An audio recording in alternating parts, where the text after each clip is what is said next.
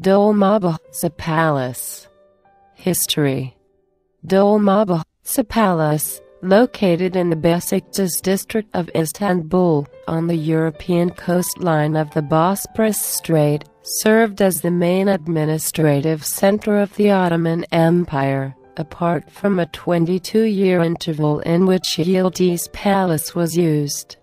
Dolmabahce Palace was ordered by the empire's 31st Sultan, Abdulmejid I. Hachi Said Aga was responsible for the construction works, while the project was realized by architects Garabet Balian, his son Nigagayos Balian, and Evanis Kalfa. The construction cost 5 million Ottoman gold coins, the equivalent of 35 tons of gold.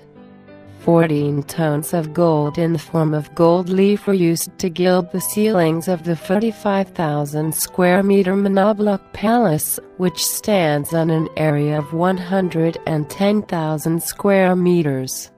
The design contains eclectic elements from the Baroque, Rococo and Neoclassical styles, blended with traditional Ottoman architecture to create a new synthesis.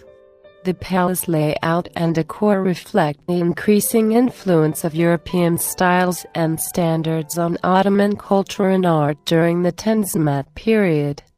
Functionally, on the other hand, it retains elements of traditional Ottoman palace life, and also features of traditional Turkish homes. It is the largest palace in Turkey considering that the area of the monoblock building occupies 45,000 square meters.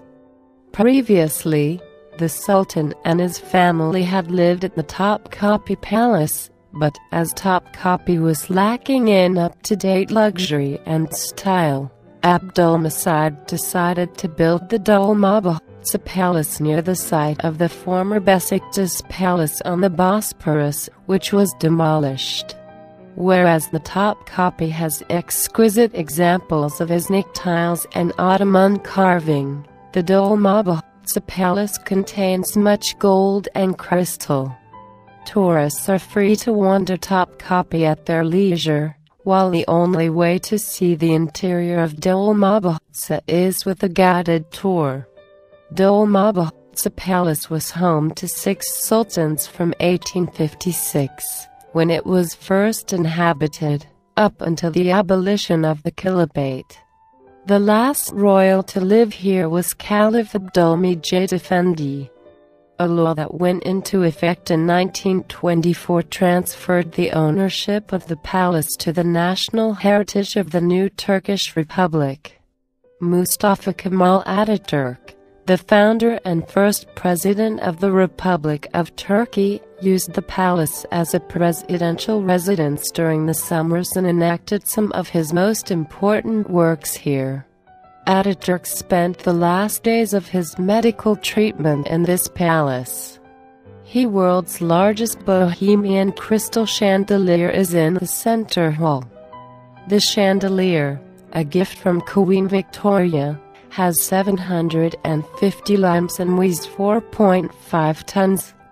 Dolmabahce has the largest collection of Bohemian and Baccarat crystal chandeliers in the world, and one of the great staircases has banisters of Baccarat crystal.